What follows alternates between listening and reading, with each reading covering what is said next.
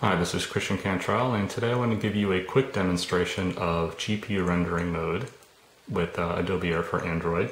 I have two applications here. One's called CPU Test and one's called GPU Test.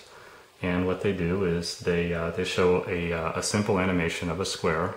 It's scaling and rotating at about 50 frames per second, which is unrealistically high for a mobile device, but the point of this test is to push the boundaries a little bit.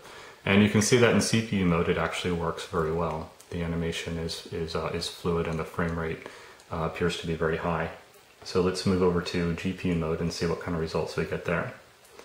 Um, here's GPU test and I'll add a square and you can see that we get pretty much the same results. If you look really carefully you might see that it might even be slightly slower than the CPU test, um, which is an interesting dynamic. Uh, at this point you might be asking what's the point of the GPU rendering mode if it's actually slightly uh, slower than CPU and I will show you why. In CPU mode, we're back in CPU mode here, and I'm going to add a square, and uh, once it gets bigger, I'm going to start adding additional squares, and you'll see right away that the animation starts to slow down as I add the second, third, fourth, and here's a fifth square. You can see that we've now pushed the CPU um, further than it can really go.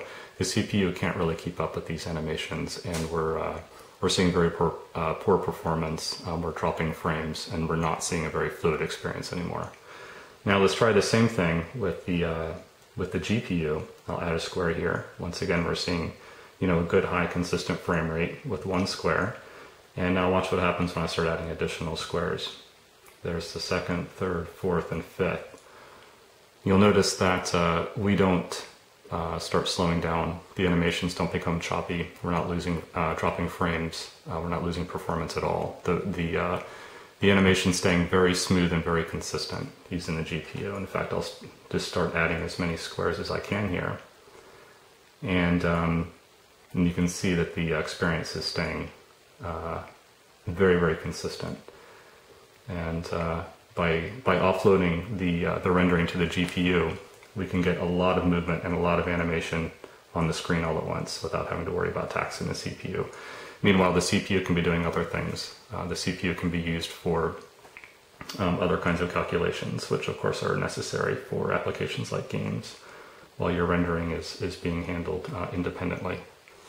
So that's the advantage of using the GPU. I'll post this application online so you can see an example and uh, you can learn how to bring GPU rendering to your Air for Android application. Thanks for watching.